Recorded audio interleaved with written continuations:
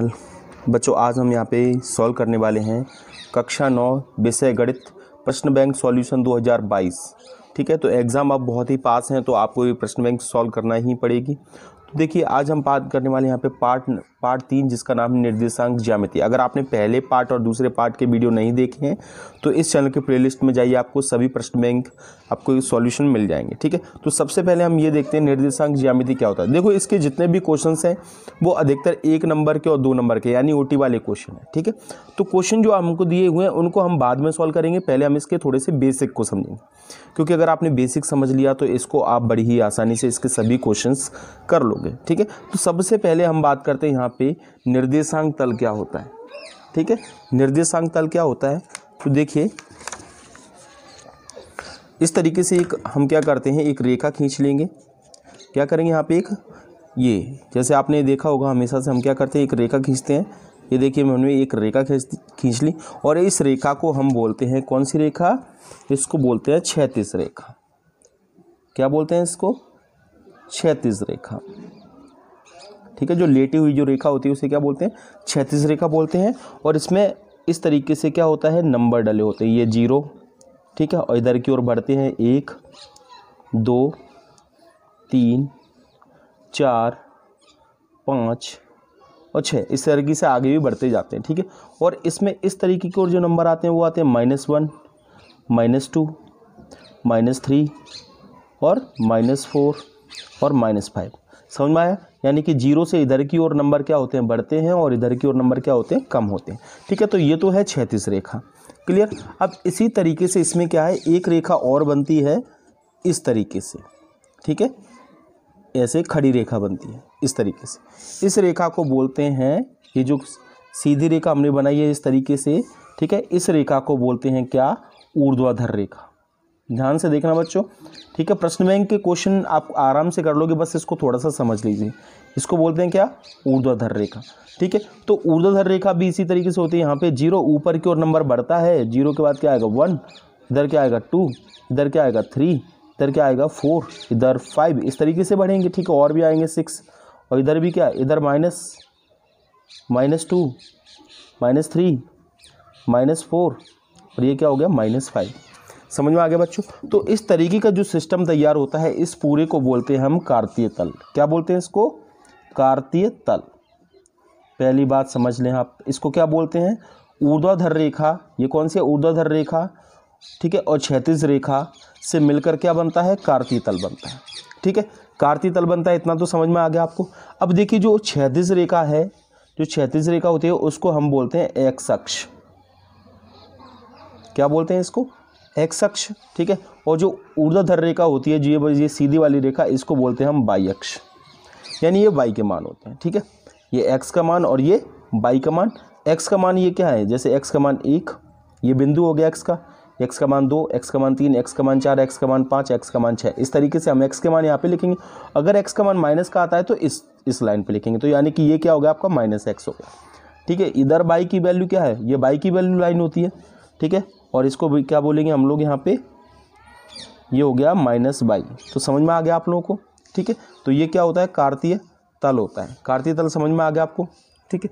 अब कार्तीय तल इस तरीके से बना हुआ होता है। ये क्या है? इस तरीके से यहाँ पे क्या है? कार्तीय तल है। अब कार्तीय तल में आपको ध्यान रखना है कि इसमें ये जो रेखा होती है, इसमें जो एक्स का मान होता है, ये एक्स अक्ष है। ठीक है? इस एक्स के मान को बोला जाता है। एक्स अक्ष के जो भी मान होते हैं, आपको याद रखना है एक्स के मान को हम कार्तीय तल में क्या बोलते हैं? भुज बोलते हैं। एक्स के मान को क्या बोलेंगे? भुज बोलेंगे, ठीक है? और जो बाई का मान होगा, चाहे वो प्लस का हो, चाहे माइनस का तो बाई के मान को हम बोलेंगे क्या?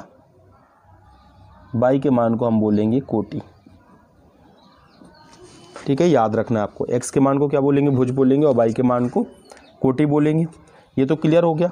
ठीक है? और देखो एक्स अक्ष, ये एक्स अक्ष हो गया, और ये कौन सा हो गया? बाई अक्ष हो गया। एक्स अक्ष और बाई अक्ष जहाँ पे एक दूसरे को काटते हैं, जैसे कटान बिंदु कौन सा है? ये दोनों रेखा एक दूसरे को कहाँ काट रही हैं? यहाँ पे काट रही हैं। तो इसको बोला जाता है मूल बिंदु। याद रखना, जहाँ पे एक्स अक्ष और बाई अक्ष दोनों को क्या क्या करते हैं? एक दूसरे को काटते हैं। उसे क्या बोलते हैं? मूल बिंदु। और मूल बिंदु के निर्देशांक, यानी यहाँ पे एक्स का मान क्या है? देखिए, यहाँ पे एक्स का मान क्या है? ज़ीरो, और यहाँ पे बाई का मान भी क्या है? ज़ीरो, ठीक है? तो यानी कि ज़ीरो ज़ीरो। ठीक है? तो इसको बोलते हैं निर्देशांक। ठीक है? हमेशा ध्यान रखना, पहले एक्स का मान आएगा और बाद में किसका मान आएगा? वाई का मान आएगा। ठीक है? और आपको समझ में आ गया यहाँ पे एक्स के मान को क्या बोलेंगे हम लोग? एक्स के मान को क्या बोलेंगे? भुज बोलेंगे और बाई के मान को क्या बोलेंगे? कोटि बोलेंगे। तो जब भी आप निर्देशांक लिखोगे इस तरीके से तो पहले क्या आएगा? पहले भुज आता है और बाद में क्या आती है? कोटि आएगी। ठीक है? पहले भुज आएगा और बाद में क्या आएगी? कोटि आएगी। ध्यान से देखते जाना इन सभी क्वेश्चंस को, ठीक है? फिर आप आराम से कर लोगे, ठीक है? जैसे अगर आपको दे दिया यहाँ पे चार और तीन, इस तरीके से दे दिया? चार और तीन दे दिया, और पूछेंगे, बताओ भुज कौन सा है इसमें? तो पहला जो मान होता है वो भुज होता है। तो इसका भुज कितना हो गया? इसका भुज कितना हो गया? चार हो गया, ठीक है? इसकी कोटी कितनी है? कोटी ये है तो हम बोलेंगे कोटी इसकी कितनी है? तीन है। समझ में आ गया? एक उदाहरण और लेते हैं। जैसे अगर आपको नंबर दे दिया क्या? माइनस का दो और एक तीन, ठीक है? अब पूछेगा कोई, आप भुज बताइए, इसका भुज कितना है, ठीक है? तो भुज का मान कितना है? तो ये पहली जो वैल्यू होती है वो एक्स की, यानी कि भुज का मान माइनस का दो। ठीक है, अगर कोटी पूछता तो कोटी का मान कितना होता? तीन होता, ठीक है? बाई के मान को क्या बोलते हैं? कोटी बोलते हैं। समझ में आ गया? ठीक है? तो ये मूल बिंदु के निर्देशांक आपको याद रखने, ज़ीरो ज़ीरो। भुज क्या होता है? कोटी क्या होती है? ये हमने समझ लिया। अब देखिए, ये जो ये जो रेखा है, ये कितने भागों में बटी है? ये जो है, इसमें कितने हिस्से हैं? चार हिस्से हैं। कौन कौन सा है? इसको बोलते हैं हम प्रथम चतुर्थांश, और इसको क्या बोलते हैं? द्वितीय। ठीक है, और इसको क्या बोलते हैं? तृतीय। ठीक है, और इसको क्या बोलते हैं? चतुर्थ। ठीक है चार हिस्सों में, यानी कि कार्ती तल कितने हिस्सों में बटा होता है? चार हिस्सों में। आपको याद रखना है कार्ती तल चार हिस्सों में बटा होता है, कौन से में? पहला, दूसरा, तीसरा और चौथा। अब पहले का मान क्या है? देखो, पहले वाला जो भी होगा, आपको इस तरीके से पहले वाले में देखो, यहाँ पे एक्स आपका क्या है? प्लस का बाई भी क्या है? प्लस। ठीक है तो ये पहला इन दोनों से मिलकर बना है तो इस चतुर्थांश का नाम है प्लस प्लस। याद रखना, बहुत ज़्यादा काम का है, ठीक है? और ये वाला देखिए, यहाँ पे एक्स का मान देखना है, पहले एक्स का मान कैसा है? माइनस का। और बाई का मान कैसा है? प्लस का। तो इसका मान क्या है? Minus plus. ठीक है? इसका नाम क्या है? Minus plus. तीसरे का नाम क्या है? देखो, दोनों ही माइनस है, यहाँ पे एक्स का मान भी माइनस और बाई का मान भी माइनस तो इसका है माइनस माइनस। ठीक है? और यहाँ पे देखो, यहाँ पे एक्स का मान कैसा है? प्लस का और बाई का मान क्या है? माइनस का। तो ये क्या है? Plus minus. तो ठीक है, याद रखना, प्लस प्लस प्लस के सामने कौन कौन रहता है? Minus minus. ठीक है? और माइनस प्लस के सामने कौन रहता है? प्लस माइनस रहते हैं। ठीक है? तो आपको याद रखना है। अब इससे फ़ायदा क्या होगा? देखो, फ़ायदा ये होगा हमको हमेशा आपको प्रथम चतुर्थांश में दोनों वैल्यू किसके मिलेंगी? प्लस के मिलेंगे। यानी आपका भुज भी प्लस का होगा और कोटि भी क्या होगी? प्लस की। ठीक है? द्वितीय चतुर्थांश में भुज आपका क्या होगा? माइनस का होगा, कोटि कैसी होगी? प्लस की होगी। ठीक है? अब क्या होगा? जैसे आपको ये पूछेगा। क्वेश्चन किस तरीके से पूछेगा? कि माइनस चार और दो किस चतुर्थांश में स्थित है? चार और दो किस चतुर्थांश में स्थित हैं। ठीक है? तो हमारा उत्तर क्या होगा? देखो, पहले आपको यहाँ पे चिन्ह देखने हैं। पहली वैल्यू किसकी है? माइनस की। और दूसरी वैल्यू का है की है? प्लस की। है कि नहीं? चार माइनस का है और दो प्लस का यानी कि माइनस प्लस माइनस प्लस कौन सा है? देख लो। माइनस प्लस कौन सा है? दूसरा। यानी कि ये जो वैल्यू है, वो कौन सी चतुर्थांश में स्थित है? द्वितीय में। आगे समझ में आपको? ठीक है? किस तरीके से करना है? इसी तरीके से आपको कोई भी क्वेश्चन आप आराम से कर सकते हो। ठीक है? हो गया कि नहीं? जैसे अगर आपको ये दे दिया, चार और तीन, बताइए कौन से चतुर्थांश में स्थित है तो आपको पता है चार प्लस का है और तीन भी क्या है प्लस का? तो प्लस प्लस कौन सा होता है पहला? ठीक है? माइनस माइनस कौन सा होता है? तीसरा। अगर दोनों वैल्यू क्या आ जाए माइनस की माइनस तीन माइनस का दो। तो इसको भी क्या बोलेंगे हम लोग? माइनस माइनस किए यानी कि तीसरे चतुर्थांश समझ में आ गया? ठीक है? अब चलो क्वेश्चन को सॉल्व करते हैं।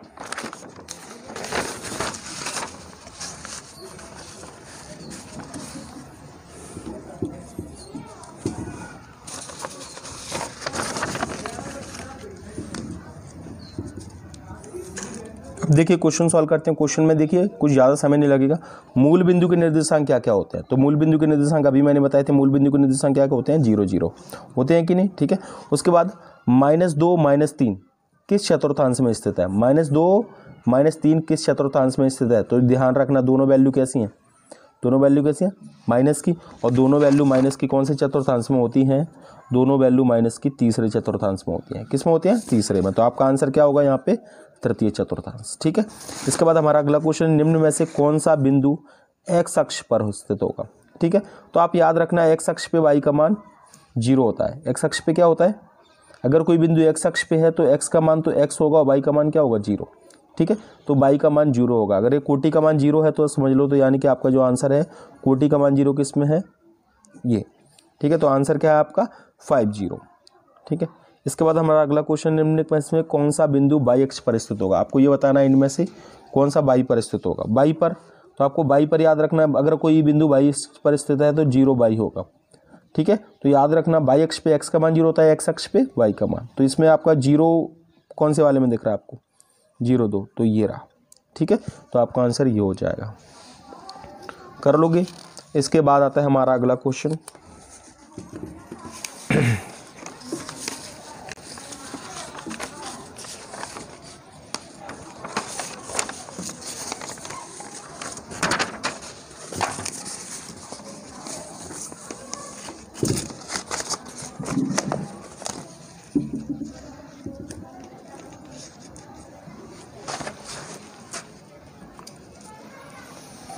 देखिए, हमारा अगला क्वेश्चन ये है, जिसमें क्या है? माइनस दो माइनस एक, किस चतुर्थांश में स्थित है? माइनस दो माइनस एक। आपको पता है ना, ये प्लस और माइनस प्लस माइनस कौन सी चतुर्थांश में स्थित होता है? देखिए प्लस माइनस कौन सी चतुर्थांश का नाम है? तो प्लस माइनस किसका है? चतुर्थ का। ठीक है तो आपका आंसर क्या हो जाएगा इसमें? चतुर्थ चतुर्थांश। क्लियर कर लोगे? इसके बाद हमारा अगला क्वेश्चन है यहाँ पे। सत्य सत्य है। सत्य सत्य में क्या है? देखो मूल बिंदु से भुज और कोटि दोनों शून्य होते हैं मूल बिंदु पर। बिल्कुल सत्य है ये। ठीक है तो हमारा आंसर क्या हो जाएगा? ये सत्य हो जाएगा। ठीक है? बाई अक्ष में भुज शून्य नहीं होता है। बाई अक्ष पर, आपको पता है बाई अक्ष पर अगर कोई बिंदु होगा तो बाई का मान तो होगा। ठीक है, लेकिन भुज का मान क्या होगा? ज़ीरो होगा। ठीक है, इस तरीके से होगा। तो ये क्या है? असत्य है। बाई अक्ष पर भुज शून्य नहीं होता तो ये क्या है? असत्य ठीक है, बाई अक्ष पर भुज का मान क्या होता है? शून्य होता है, याद रखना। एक्स अक्ष में कोटि शून्य होती है। एक्स अक्ष में क्या होती है? कोटि यानी बाई का मान ज़ीरो होता है एक्स अक्ष पे, ठीक है? तो ये क्या है आपका? सत्य है। ठीक है? बिंदु दो माइनस दो तीन प्रथम चतुर्थांश में स्थित होता है। बिंदु दो और तीन। प्रथम चतुर्थांश में दोनों प्लस के हैं, यानी कि हाँ तो ये क्या हो गया हमारा? सत्य हो गया। ठीक है? बिंदु माइनस एक दो बाई अक्ष पर स्थित होगा। बिंदु माइनस एक दो तो ये है असत्य। ठीक है? असत्य है ये। कर लोगे? कैसे पता चला कि यह असत्य है? क्योंकि माइनस ठीक है, अगर ये बिंदु बाई एक्स पर स्थित होता तो क्या है एक्स का मान क्या होता? ज़ीरो होता। ठीक है, ये माइनस वन यहाँ पे नहीं होता, यहाँ पे क्या होता? है ज़ीरो ठीक है तो कर लोगे। इसके बाद हमारा अगला क्वेश्चन देखिए। अगला क्वेश्चन है ये रिक्त स्थानों की पूर्ति कीजिए। रिक्त स्थानों की पूर्ति करनी है। रिक्त स्थानों में क्या क्या देखो?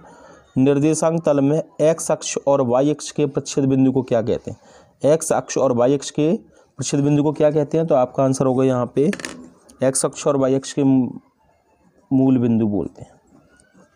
क्या बोलते हैं उसे? मूल बिंदु। लिख लोगे? ठीक है। इसके बाद हमारा नेक्स्ट क्वेश्चन है, बिंदु एक्स बाई में एक्स को भुज और बाई को कोटि कहते हैं। बिंदु जो एक्स बाई दिया एक्स को भुज, सही एक्स को भुजी बोलते हैं वाई को क्या बोलते हैं? कोटि। तो ये बिल्कुल आपका सही है। ठीक है? बाई को क्या बोलते हैं? कोटि। तो ये हमने भर दिया है खालिस्तान। ठीक है? तो आप इसको कंप्लीट कर लें।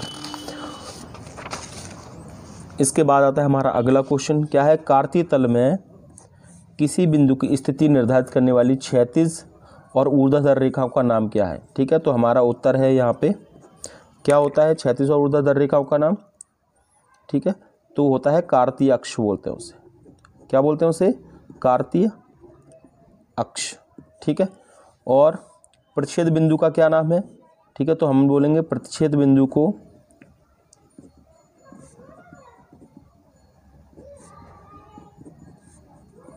मूल बिंदु कहा जाता है। क्या कहा जाता है? मूल बिंदु कहा जाता है। हो जाएगा ये। इसके बाद हमारा लास्ट क्वेश्चन है, कार्तीय दल को एक्स अक्ष और वाई अक्ष द्वारा कितने भागों में विभाजित किया जाता है? ठीक है? तो कार्तीय तल में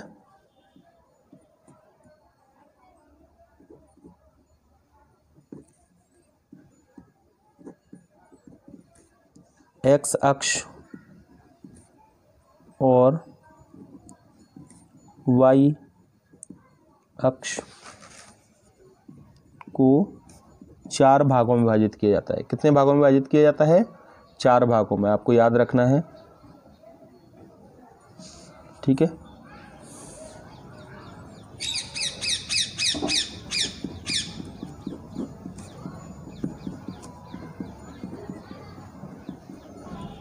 चार भागों में विभाजित किया जाता है। ठीक है? और उन्हें क्या कहा जाता है? तो उसका हमारा उत्तर है, इन्हें चतुर्थांश कहा जाता है।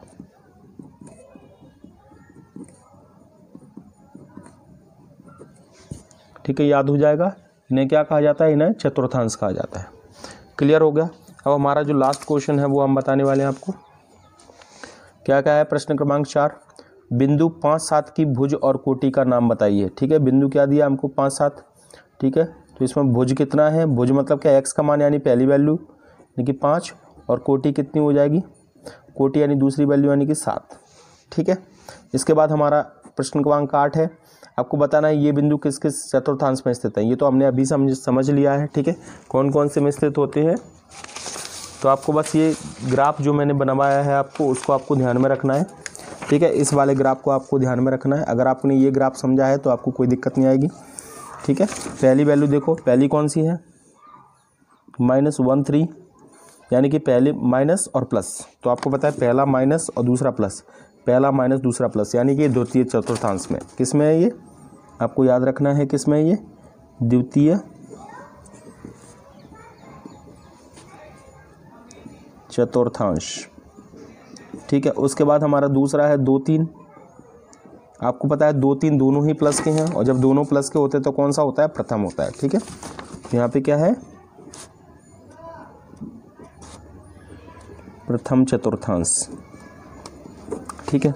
उसके बाद हमारा तीसरा तीसरा क्या है यहाँ पे? माइनस माइनस ठीक है? यहाँ पे क्या दिया? चार माइनस पाँच। चार माइनस पाँच यानी पहला प्लस और दूसरा माइनस पहला प्लस और दूसरा माइनस कौन सा हो गया? चतुर्थ।